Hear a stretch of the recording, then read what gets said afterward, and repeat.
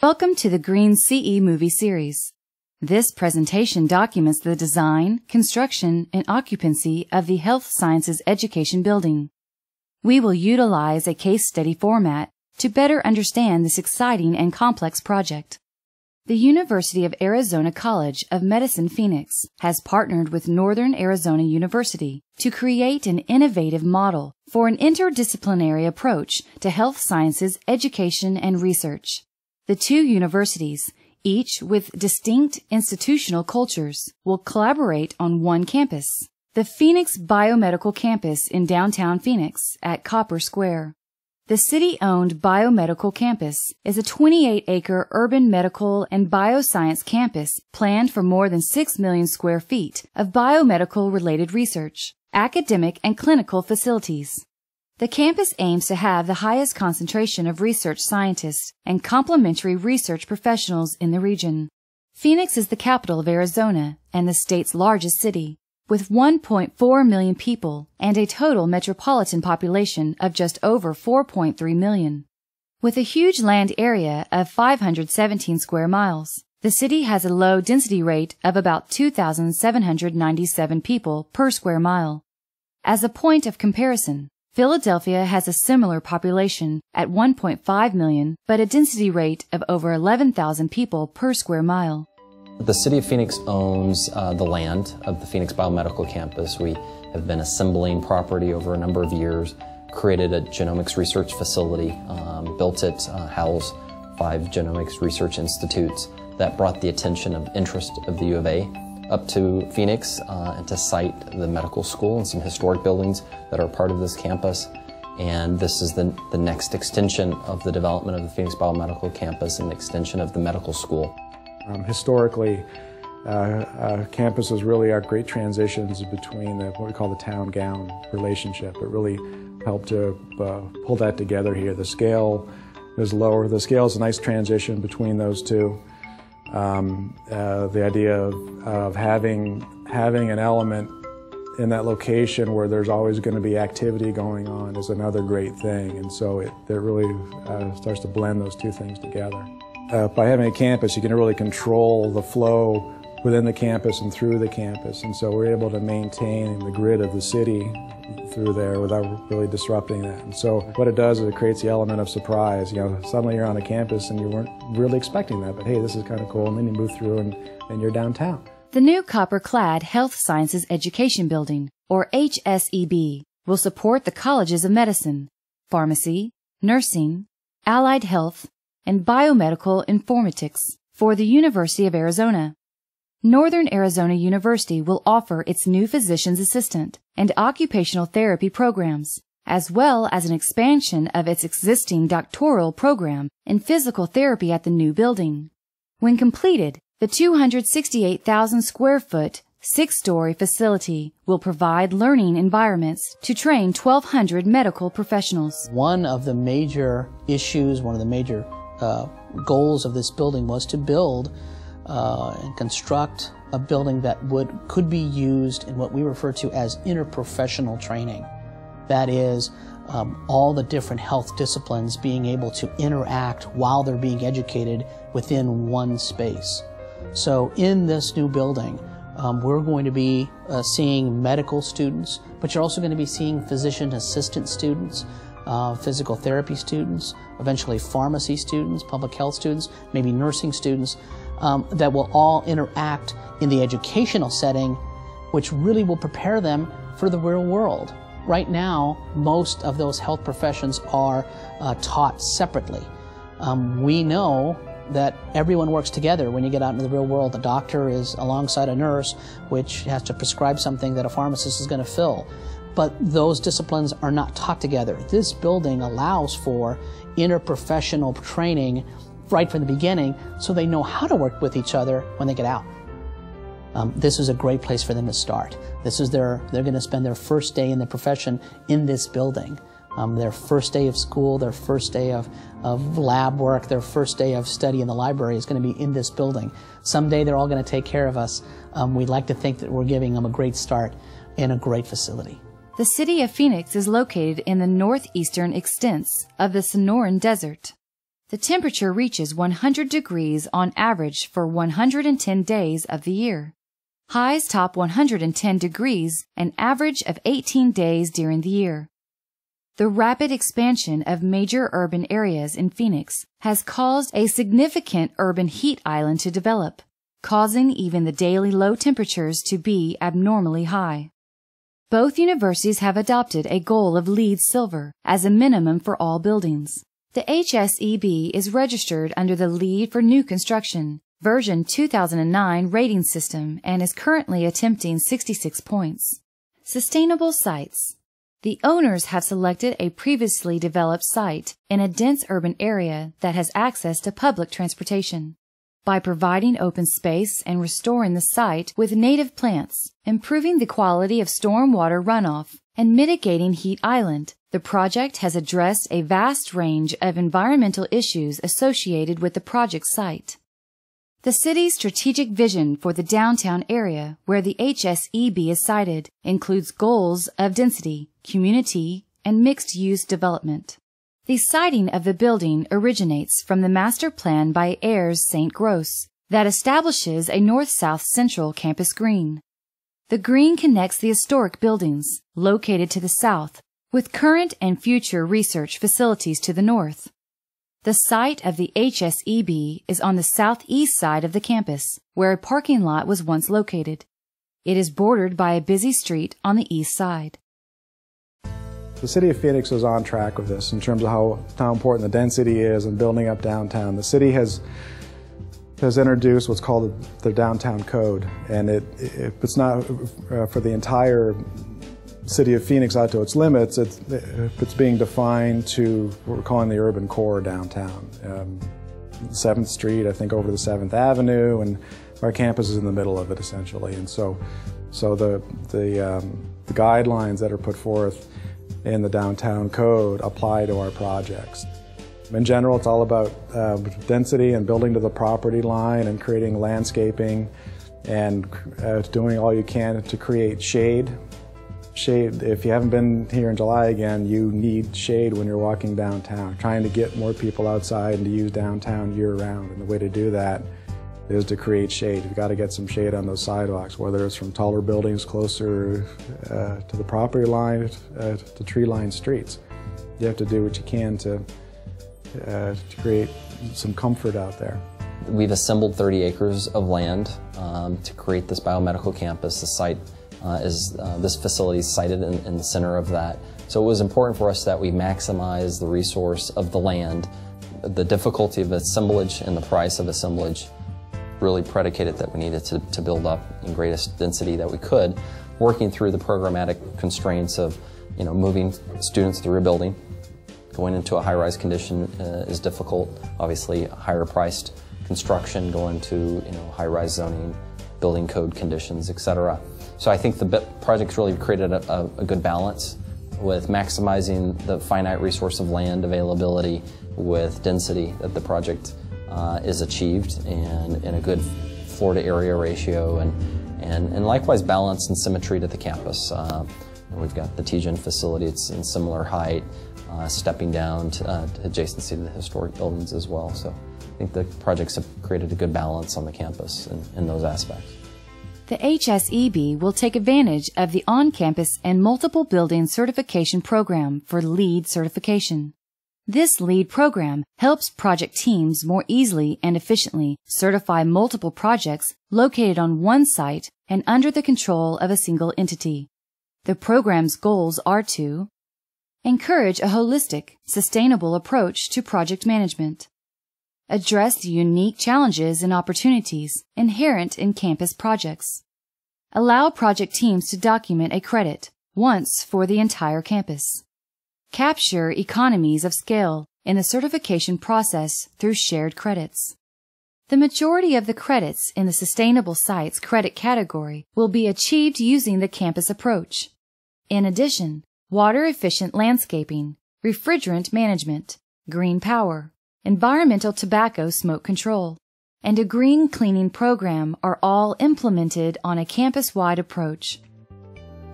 Uh, the site previously was a parking lot and not making the best use of the land in downtown Phoenix. We, uh, along with the design team, decided to uh, use this particular portion of that parking lot for this building because it related most to existing buildings on the site.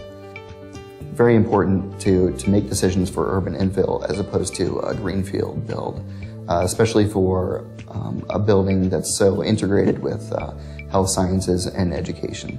Uh, educating people about um, the site choice um, is very important. Energy and atmosphere. Reducing energy use in an extreme environment is a priority. The team uses the integrated design approach and early energy modeling to optimize the performance of the building. The desert is relentless and harsh, yet hundreds of generations have subsisted here, adapting to the ecosystem through respectful, practical, and sustainable practices. The design for the Health Science Education Building was shaped by the desert climate and the goal of reduced energy consumption. The facility is organized into east-west wings connected to a north-south axis, establishing the eastern boundary of the campus. The building's form and its orientation result from efforts to minimize the intense effects of the Arizona sun. The overriding uh, ideas behind this building was that this was going to be a building that could only be built here and nowhere else, and it should look like that. And, you know, that derives from its relationship to the place, what's important around it, but also its geographic nature. So, you know, this is fundamentally a desert uh, landscape, and the sun is incredibly intense. So the design of the building is really formed by that. If you see the building, basically the building is elongated in the east-west orientation. The idea being that you get predominantly north and south elevations, because those are the easiest to treat here. You know, the north has just a little bit of sun coming around, and the south, the sun is fairly high. So with sunshades, you can really design the building fairly easily to protect that. But the east and the west are much more problematic because the sun is really low. And so we try to eliminate, for the most part, east and west uh, windows. And so you'll see there are these kind of incisions into the building uh, where we needed light. And you can see that in the Learning Resource Studio, the library up on the uh, third and fourth floor, where you have these big sort of insertions so that even though we need light from the west, we get it from the north and south.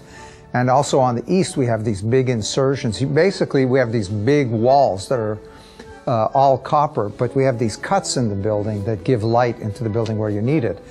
And then we have that big canyon. You know, the description that I gave of how the building evolved and uh, affects how the building uh, sits on the site. And it's a, it's more a passive approach to doing the right thing in terms of energy consumption. And LEED has, you know, scores in terms of energy consumption.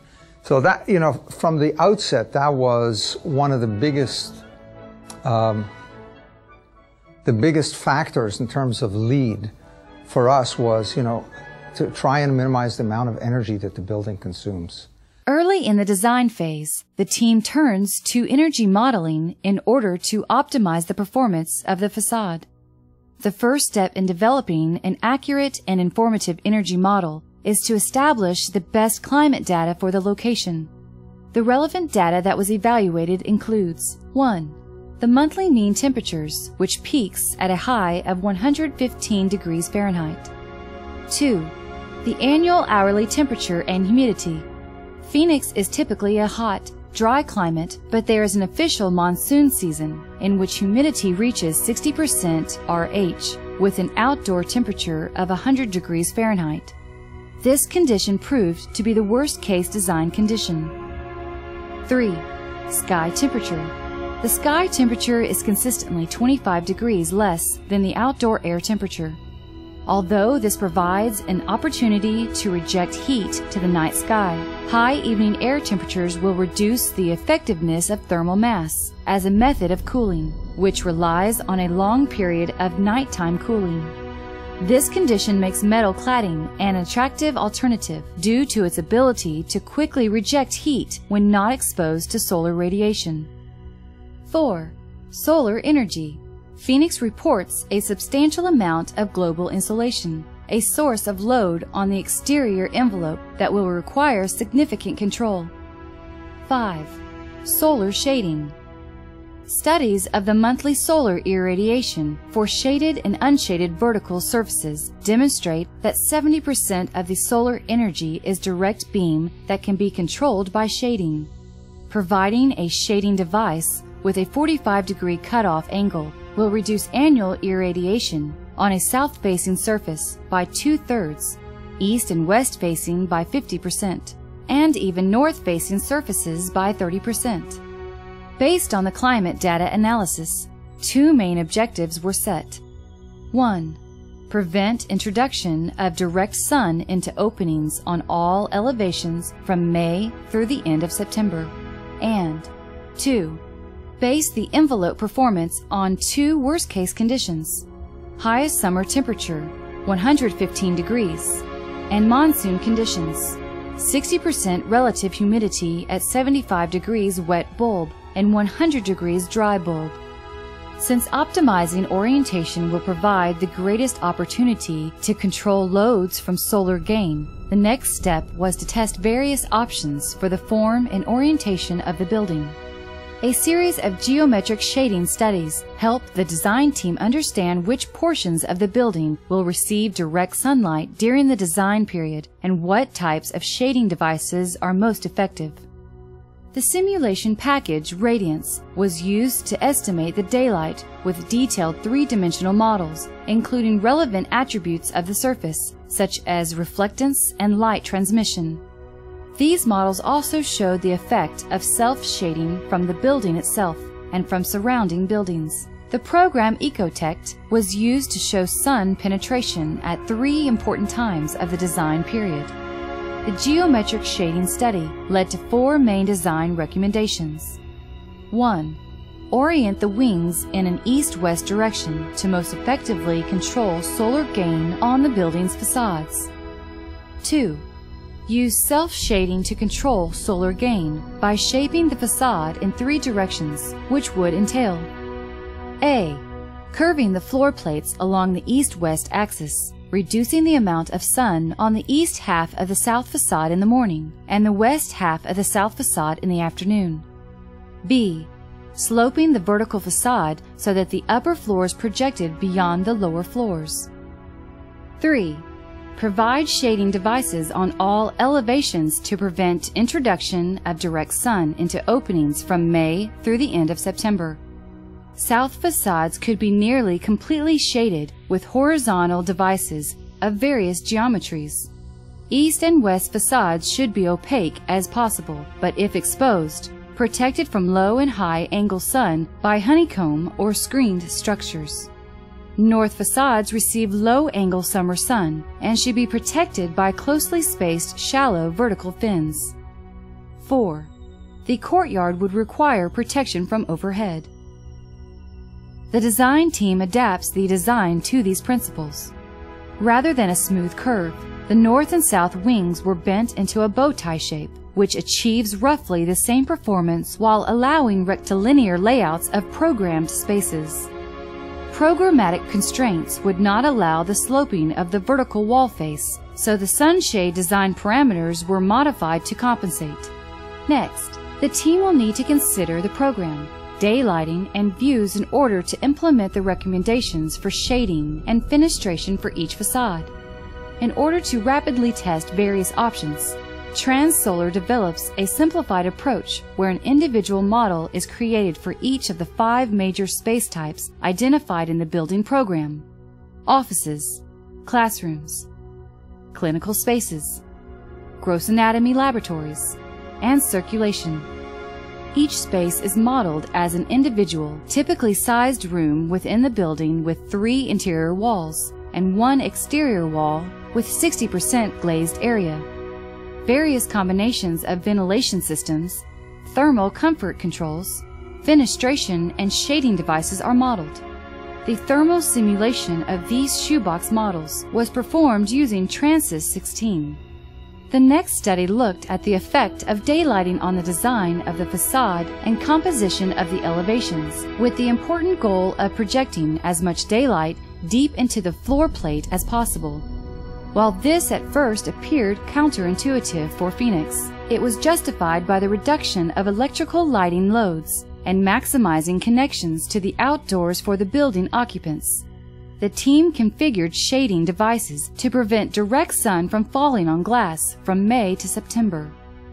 By using the shading devices as light shelves to reflect indirect light into the building, they also reduce glare. The program Ecotect was used to show sun penetration and generate sun angle studies to help configure the devices. Finally, an exterior wall section profile was developed for each of the major space types configured for orientation, ceiling height, room depth, and room activity. These optimized profiles were then applied to the elevations. Envelope performance of the building is, is huge. It's key to, um, from my aspect as an, as an energy modeler, um, whenever there's a high performing envelope, I, I get my hopes up for, for high energy savings because it's, it's where you can make or break a project for it can either you know use a lot of energy or it can retain a lot of a lot of cooling, kick out a lot of heat. Um, this project was was great. Um, AEI and the design team worked with a company, Transsolar, to do a solar study of the of the building. And what Transsolar, their report had told us was that they were able to uh, place fenster uh, to place glazing on the building so that in the summer there would be no direct uh, solar radiation, no direct solar gain um, on the on glazing, and in the winter the building was positioned such that the solar, the sun would actually heat the glass and actually provide a little bit of a heat load, um, and so it actually turned out to be um, it doesn't hurt us and it helps us in heating or cooling season. What what that means um, from from an energy standpoint is that we now use less chilled water, um, it, which on this project is a it's purchased through a utility, so it means less of a utility bill, um, chilled water bill, not necessarily electricity, and on the on the heating side, we actually use less nat- natural gas. So it was it was really really big for something as simple as a window to equate to cost savings for chilled water and natural gas. We use TRNSYS and Therm and Ecotect. And basically, the, the challenge on this project was finding the right modeling software at the right stage of the design of the building. So we used uh, a series of, uh, I think we used Ecotect at the very beginning to try and really optimize the shape of the building and optimize its orientation to the sun. Uh, and then we used it also in the design of the sunshades. For instance, one of the main criteria that we uh, established was that the, that the windows would always be shaded from the month of basically from May through September, that the glass would be 100% shaded.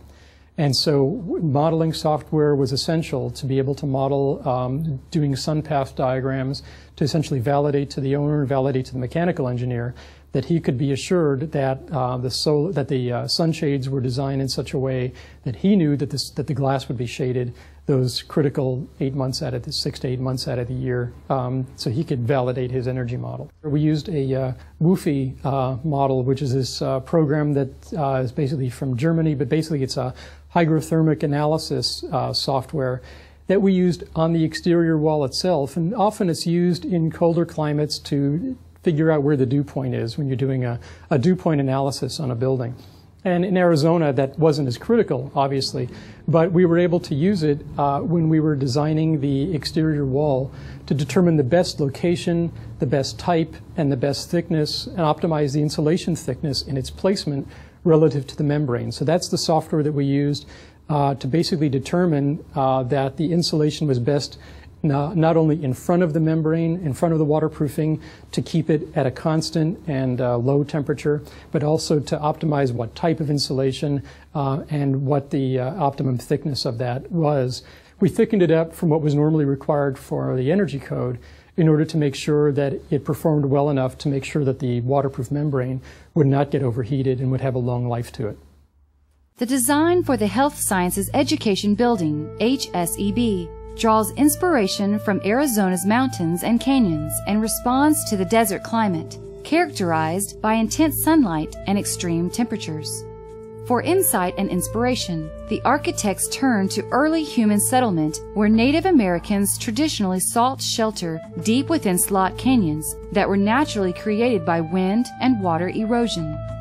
These self-shaded majestic spaces maintain temperatures 15 to 25 degrees cooler than the ambient temperatures outside. Um, honestly, my favorite feature uh, is the canyon in the project. And it, I think it, it encompasses a lot of, or captures a lot of kind of a range of design issues all the way up uh, from master planning down to how it's detailed.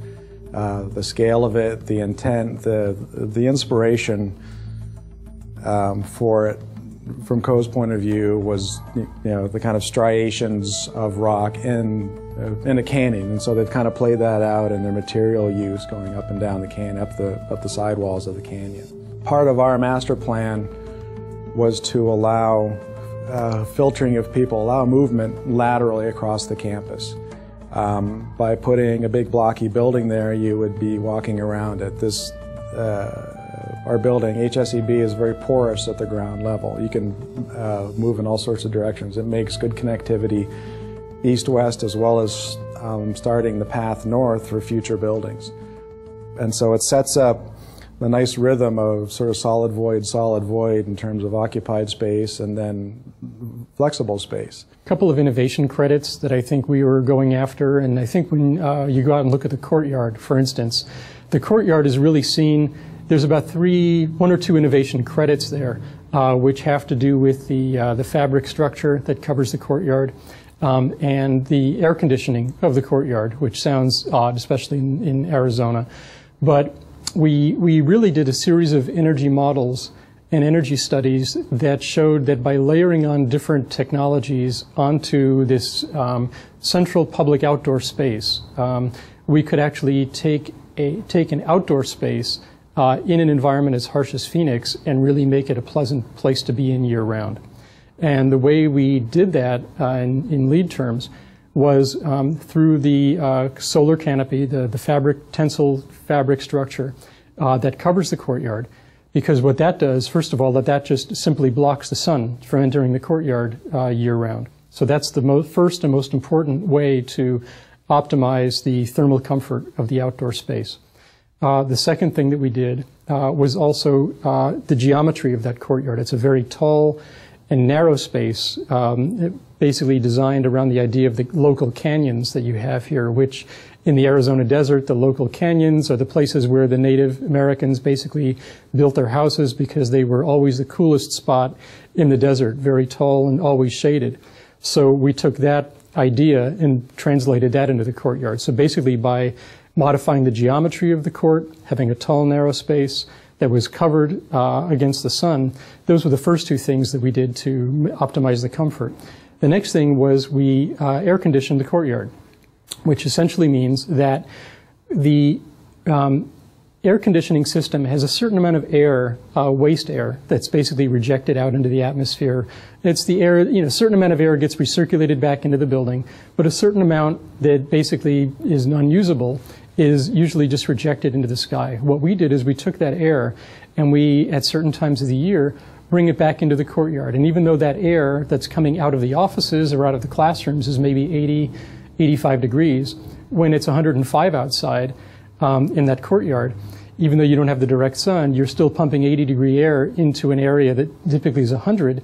You're reducing the temperature of that outdoor space. And so that was another one of the innovation credits that really go into a whole um, system. Uh, it's really a whole system of really um, four different technologies in that courtyard. The, the shades, the envelope or the, the shape, the air conditioning, and, and then the thermal mass, the concrete block which defines the courtyard, and the materials. So it's really four things that really don't add up into an individual credit each time, but they're four things that we still felt were important to do anyway, even though maybe only one or two of them will really result in a LEED credit.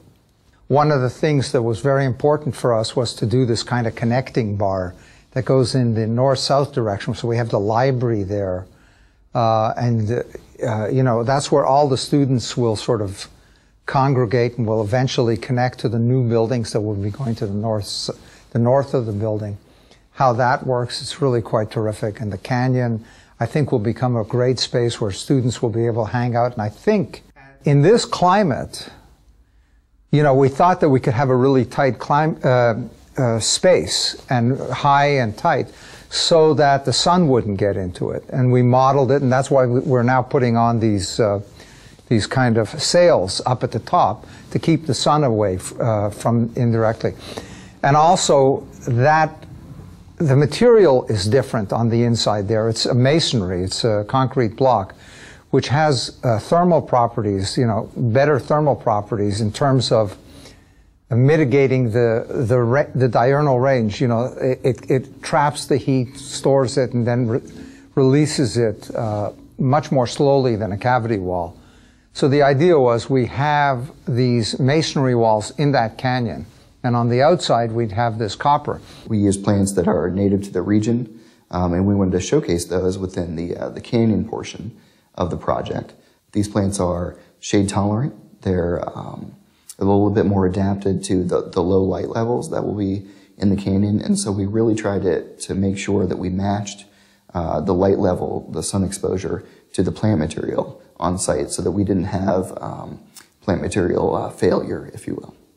In addition to the early energy modeling performed by Transsolar, the mechanical engineer must quantify the predicted annual energy cost for the building to demonstrate a level of compliance with Energy and Atmosphere Credit 1. Optimize energy performance. This project actually started in 2007.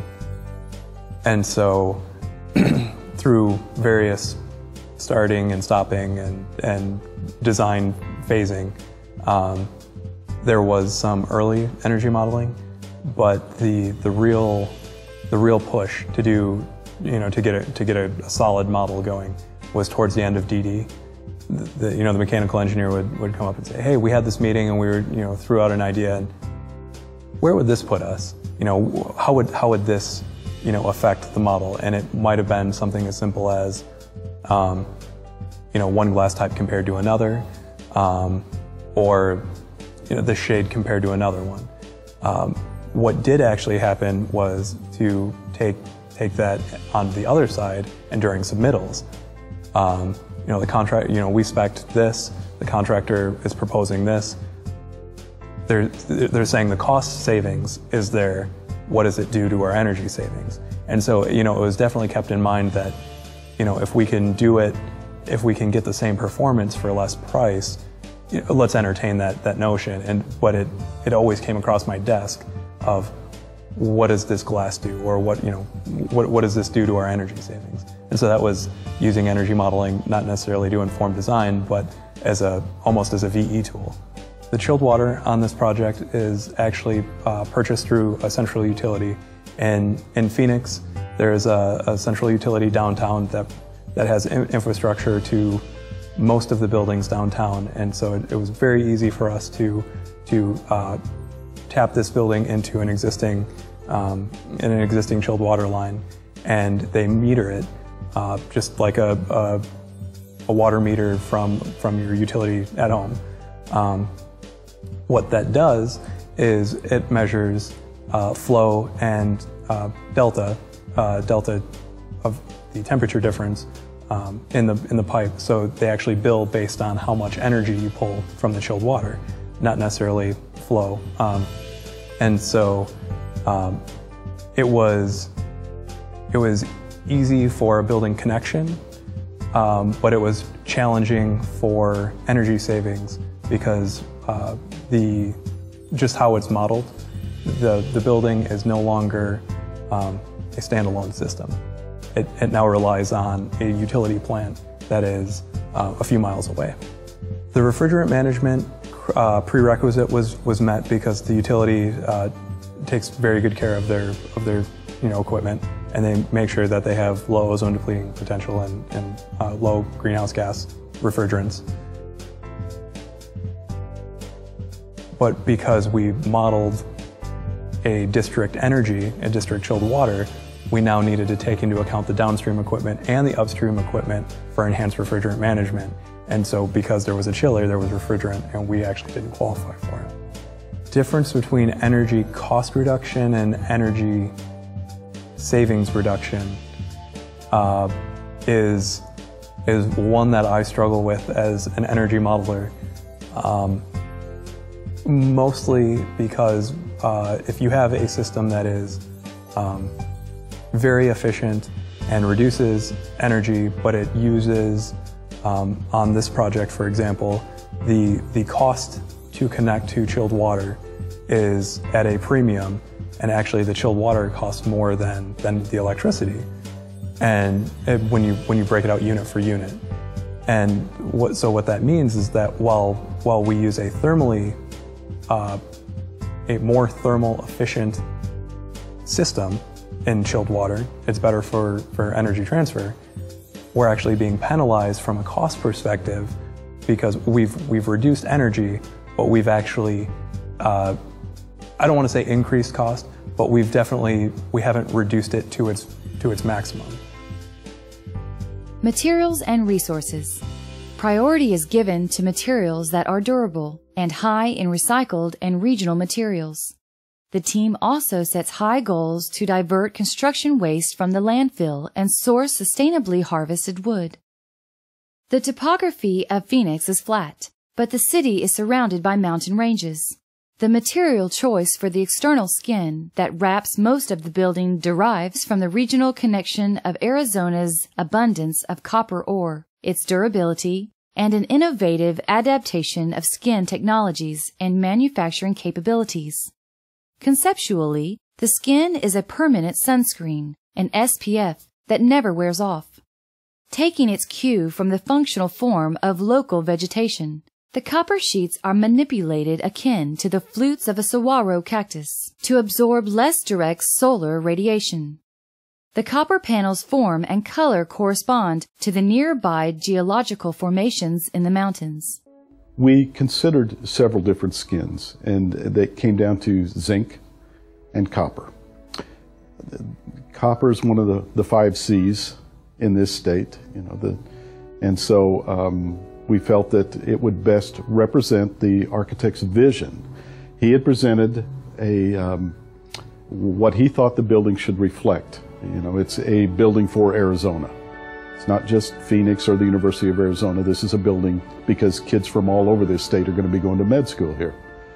So that's the vision he wanted. And when he presented this, I, I think that I'd have to say there was excitement from day one. I mean, this, this is one of those that just reached out and grabbed people from the very beginning. Uh, fortunately, hit the low point in copper. It was under $2 a pound uh, when this was being considered, and both the architect and the contractor in particular came forth with a plan that said, you know, we should just pre-purchase all the copper for this project. Pre-purchase it right now, today. And we took it back down to the, the, to the university level and talked about that and said, yeah, you know, this is a great idea. We can do this. And what a building it's, it's going to be. So that's kind of how the idea evolved into the reality that you see out there right now. The other thing that's regional, that's different about this building, was that this copper is a regional material. We, it happened to be relatively uh, uh, at its low uh, point in terms of cost, so we could afford it. It was a local material. But we tried to get a, a, a building that kind of uh, connected with the surrounding mountains. You know, if you look, a lot of the views around here are of the mountains that surround Phoenix. And we wanted the color and the striations to relate to those mountains. And so, you know, we, we did a lot of design investigations at the outset, and as I mentioned, originally we were looking at rusted steel, but uh, that had its own problems. We wanted that kind of color. And we, we realized we could get that with copper because in this climate, it's not going to turn green, it's going to stay brown. And with these folds, we, we, we designed about 26 different panels that we did in different combinations and had special, we worked with the uh, subcontractor, Kovach, to determine what was possible and feasible to make, but we made these different panels and then we arranged them in different ways so that you get these kind of striations in the building that kind of look like the striations in the canyons that you see around here, the kind of stone striations. That's basically the idea behind what the building looks like in the copper. Think as time goes on and, and the copper starts changing color and gets more variegated, it really will feel uh, a bigger connection to the sort of surrounding mountains, and hopefully it'll become much more kind of apparent what we were trying to do. The vision that Kovach had for the HSEB project was to come up with something that had never been done before, that could never be replicated again, and to accomplish the design intent and really bring that design to reality. So where did the copper come from in the first place?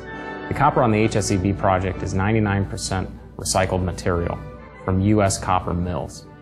Uh, very likely that copper was parts and pieces to computers, plumbing fixtures, uh, wires, etc. Um, that saw a life cycle for the last 30 years before it was recycled into uh, copper that was shipped to Arizona and manufactured into the panels on the outside of the HSEB building.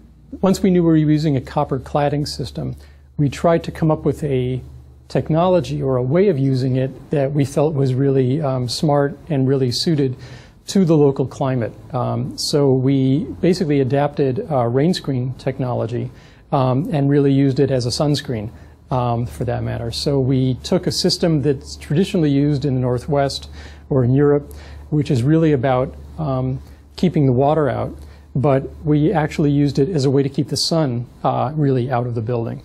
And so in this case, as you'll see, the copper is really used as a exterior cladding material. We basically build this um, sandwich wall um, where we have the exterior structural wall, a waterproofing membrane, a layer four inches of um, rigid insulation, a two inch airspace, and then the copper itself. And by doing that, what that does is that the copper and the airspace work together in order to absorb the radiant heat from the sun and take that heat and um, allow it to travel up through that airspace and vent out the top of the building. The insulation then works to also um, not only insulate the building, but what it also does is because it's in front of the waterproofing, it protects the waterproofing from getting hot, um, which in, obviously in, in Arizona is very important. So we were able to do a series of thermal models that demonstrated that when it's 180 degrees on the copper surface itself from the sun hitting it, the waterproof membrane itself never gets above 80 or 90 degrees and is able to operate within a temperature that makes it last um, you know, a full 20 years. So had we put the insulation behind the membrane, which is something that was typically done in Arizona, and I think that the system that we used to attach the copper back to the building um, and try to minimize thermal bridging, for instance. You've got a, a, material like copper, which gets very hot, it absorbs heat. Um, but we worked very hard to put thermal isolation or isolators between the copper and the support structure that holds it up, and to take that support structure and embed it within the insulation. So it's really not just the copper itself, but the copper, the supports, the insulation, and the whole assembly itself, and using the, um, the air cavity that is really normally part of a rain screen to also basically take the rain screen and make it into a sunscreen. So the copper is really part of an entire integrated five component assembly that really um, drains the water out and also drains hot air out and prevents the transfer of, of heat from the copper to the support structure in a number of different ways. So it's really a fully integrated um, assembly and a fully integrated system that I think is really going to perform really well. Maximizing the integrated design process was essential to the success of the health science education building. It meant assembling a team of experts including the design team, construction manager, and exterior envelope contractors who understood the project's goals and were prepared to contribute in their particular areas of expertise. The sustainability goals and resulting performance criteria were defined early during schematic design when the construction manager was brought into the project. The value, I think, of LEED is that it really forces the owner and the architect and all the, the entire design team and the city and everybody to really get together and focus on what is really important and set priorities for the project. And whether the building gets, you know, 50 points or 56 points, the value is that it really gets everybody together and it forces everyone to sit at the same table and speak the same language and prioritize and decide together as a group what are the priorities for the project. And that I think has tremendous value. Well, the integrated design process is, is vital uh, when you're working on a project of this scope. Um, the site is uh, very sensitive so working with a civil engineer to understand runoff and uh, retention uh, requirements, uh, working with uh, the architect to understand uh, anticipated traffic flow of uh, um, patrons or students, administrators, um, not only into the building but around the rest of the campus was very important. So um, understanding what, what their goals and objectives were were important because that really informs what we do with the site design. Um, it's all in response to what the program is for the building, um, what the mission is for the client. Um, and so we, we really uh, need that information from people that we collaborate with. Um, CO Architects uh, had a great vision, um, both in materials and in uh, visualizing what the, what the building would be and what the space would be and the site would be. And so we, we really tried to, to implement that with our landscape design. The building would not have the same uh, appearance, it would not have the same result if we did not have uh, the entire design team or the contracting team on board from the beginning. Uh, it was absolutely essential that we had the uh, subcontractors, especially the metal panel, the copper, copper cladding contractor, uh, and the curtain wall contractor on board while we were in, in the design stage. Um, their ability to help us understand the um, costs, relative costs of the different systems, and weigh the different um, weigh different options, look at different ways of building the building, and optimize the uh, performance of the building and bring the building on, in on budget. Um, could not have been done if we were designing the building in a vacuum. If we were just designing it in a traditional design bid build fashion, for instance, the building would never have looked the way it does today. Another aspect of the integrated design team is the integration of the uh, contractor with our team. Uh, and that's something that we've been doing a lot uh, recently. Uh, I mean, the industry in general, the profession, has gone that way, and it really has helped the building because what happens is, even during the schematic design phase, the contractor's on board, and they give us uh, input in terms of sort of the cost effectiveness of certain strategies. Uh, and even down to this, they get subcontractors who work with us. And when we detail the skin, like the copper, or where the mechanical rooms, uh, the uh, systems parts, you know, they had a big impact in terms of uh, making it a cost-effective uh, decision. So, for instance, in the mechanical room, we have a distributed mechanical room on uh, every floor, as opposed to having it on the roof. And that's has a lot to do with the contractor being involved. And also, when you have a contractor that you have a good relationship with, um, like we had on this job, they become your advocate in terms of uh, saying that they can afford to build what you're doing. You know, they made the, the client feel at ease that they could get this building at the cost. And they're doing uh, these sort of, it's almost like a menu. You know, as we're doing design, there are certain elements that we want and they're costing it and they, they sort of say, okay, you can get this, but you can't get that. And, you know, together we sort of say, well, this is important to us, let's do these things. And uh, that's how the integrated process works, which is really pretty terrific. It was a collaborative process, so either the architects would come over from California here to our office in the Valley, or we would fly over the construction management team to their office in California. And this was done on a weekly basis just in order to uh, share and collaborate. We also used our subcontractors as a collaborative uh, design assist as well. It worked very well. We uh, had some early subs that we brought on to do design assist, uh, the mechanical and electrical subcontractors, as well as the uh, um, KT Fabrication, who is doing the glass and glazing, and Kovach is doing the metal panels, the copper panels themselves, brought on early to do uh, design assist. And what it did is allowed the architects to use the expertise of the subcontractor during the design process and tell them what would work and what wouldn't work. Real easy to draw a line on a piece of paper, not necessarily that easy to put it in place out in the field. So A major hurdle for the team is the significant decrease in budget that occurs after design has begun. The, the project has gone through a lot of iterations. When it was initially awarded, it was in the neighborhood of $330 million. Know, $480 million total project cost. That included two buildings. Our HSEB was supposed to be 440,000 square feet, and then there's a whole other research building called ABC2 that was a part of the project. That eventually fell away as uh, funding from the state uh, was dwindling. In the period where we were getting from 440,000 square feet down to 260, the building took on many, many forms you may have seen from CO. There were there were versions of the footprint that stretch all the way across the property over to Fifth Street um, and so it was really spanning the, the, entire campus laterally, and that was really a part of the master plan too, to to try to do that.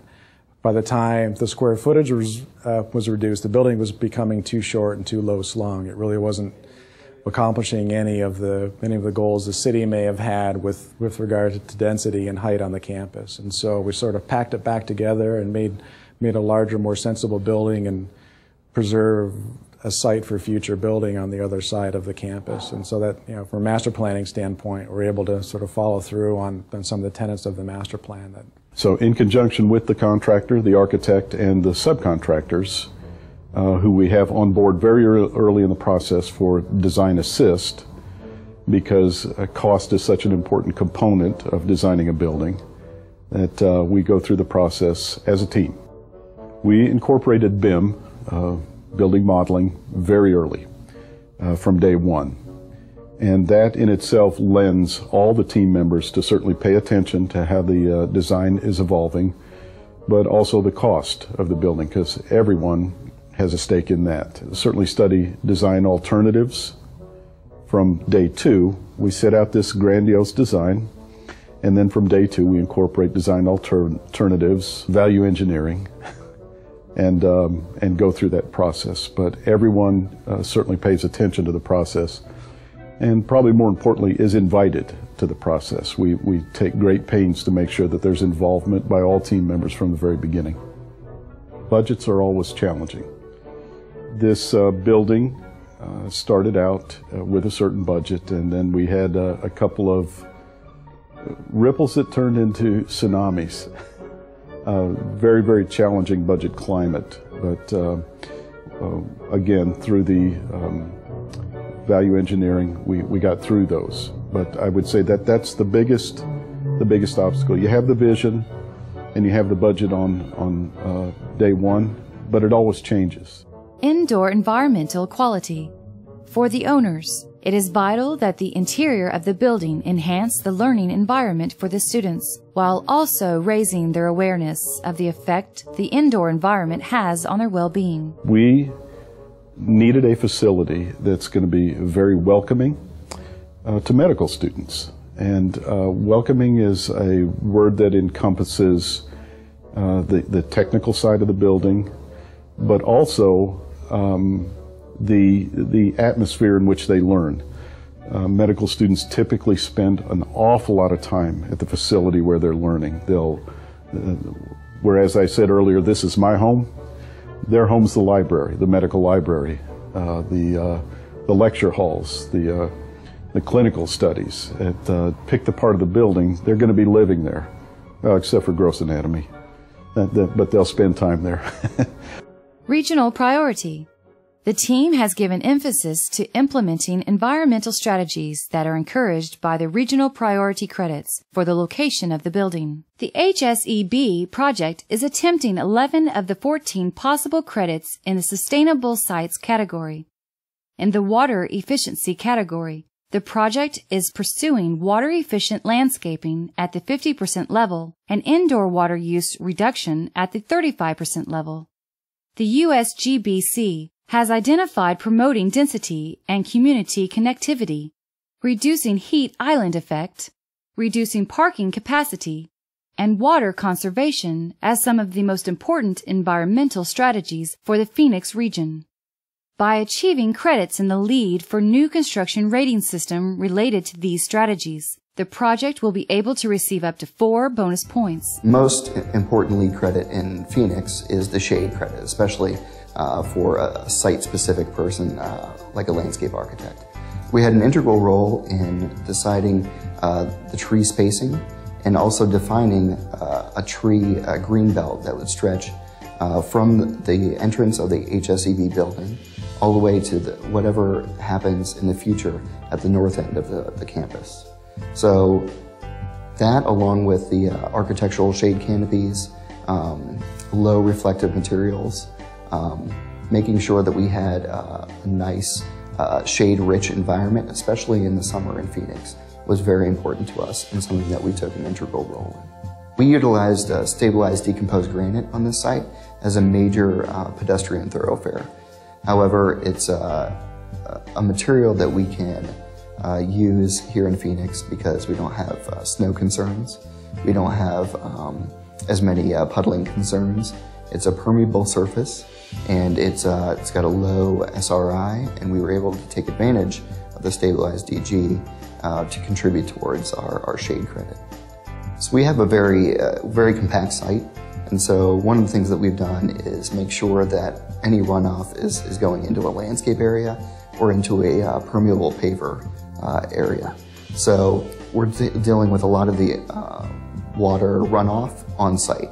Uh, Phoenix has a requirement that the first uh, flush is contained on site, and so we've adhered to that. I think it's a, an, an important aspect to not have your runoff uh, be someone else's problem. So we've taken um, an approach to contain all of the, uh, the water runoff on site using our retention basins, using uh, landscape areas, and using uh, permeable paver areas underneath uh, vehicular driving aisles. Some of the biggest LEED credit challenges on the project were um, ensuring that uh, we could capitalize on a water re use reduction. Even though we have turf on the project, we're using a, a very small amount of, of turf um, over uh, the vivarium structure. And so we're taking uh, an area that uh, not necessarily uh, good for um, other uses and, and, using it for turf. Uh, turf uses a, a, a, lot of water percentage-wise, but by keeping that, uh, that amount of, of turf panel lower, and using a lot of other native plant materials, we were able to reduce the water um, by over 20% uh, as per the LEED requirement. Some of the native species in Phoenix are uh, extremely beautiful, and so we've used Palo Verdes, Palo Verde trees on this project. We've used uh, mesquite trees on this project, which were existing. Some other plants that we've used uh, were um, Hesperaloe funifera. We've used Hesperaloe parviflora, We've used deer grass on the project, and we've used these plants in, in masses so that um, as you're walking through, you'll experience different plants at different levels, and they'll repeat so that you're tied to the site a little bit more. The LEED credits that we played a significant role in have been the uh, prerequisite credit for uh, construction activities, stormwater management, and then uh, that leads into the stormwater quality and stormwater quantity credits. LEED credits oftentimes have synergy between them. On this project, we found uh, as we tried to reduce the heat island effect outside of the building that went hand in hand with providing a permeable pavement uh, for parking at, at, the site. LEED is valuable in a project as, such as this as it brings to the forefront of our minds uh, the the need for sustainable design, and we can explore options such as permeable paving in lieu of asphalt, which reduces heat island and also can uh, help in stormwater man management. The water savings in the building is accomplished through any number of low flow fixtures, waterless urinals. Um, when I say, you know, the envelope is where you make up a lot of a lot of ground on your on your energy savings uh, waterless urinals are huge in water savings. They, they are by far the lion's share of, of water savings. But sustainability as a global concept was a really important piece of what we do as a campus. Recognizing that the world has some major challenges uh, in the environment, in the economies of the world, and how we make a living, how we uh, sustain ourselves as a species, we uh, really began to recognize that students of this era need to be grounded and understand what's going on, be in a position when they leave the university, go into their corporate careers, go into their government careers, wherever they might be going, uh, businesses, that they're the ones who will provide the solutions and be able to do that hard thinking that's needed in order for us to reach that goal of being a much more sustainable uh, world. It's begun to infuse into any type of, uh, almost all the curriculum. Uh, even if you're a philosophy major or you're a history major or you're a business major, there is some component of sustainability or green that's built into your time at the university. Our, our goal is for all of our students to leave the university with sort of a baseline understanding of what's going on in the world in terms of sustainability, and then to go out and be a big part of the solutions that are created to overcome these big problems that we're facing as a world.